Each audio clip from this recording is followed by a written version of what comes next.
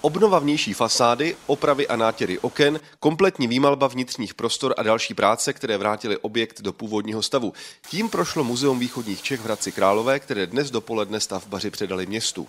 Byl odstraněn červený nátěr na eh, cihlách, který byl proveden zhruba asi před 20-30 lety, takže barevnost cihelného pláště odpovídá době svého vzniku.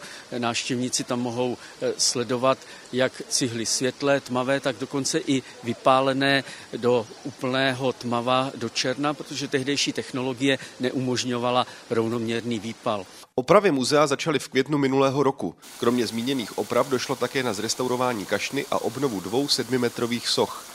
Novinkou pro budoucí návštěvníky bude vyhlídka ze střechy na hradecké panorama. Město Hradec Králové do revitalizace investovalo přes 100 milionů korun, přičemž z dotací se podařilo získat téměř 75 milionů. Eh, myslím si, že rekonstrukce se neobyčejně povedla, je krásná a já jsem rád, že budeme i nadále moci spolupracovat s Královéhradeckým krajem, kdy samozřejmě budova zůstává naše, nicméně expozice a zaměstnanci patří v úvozovkách Královéhradeckému kraji a vzhledem k tomu, že muzeum fungovalo velmi dobře, tak si myslím, že ta spolupráce byla dobrá, je dobrá a zcela jistě dobrá bude.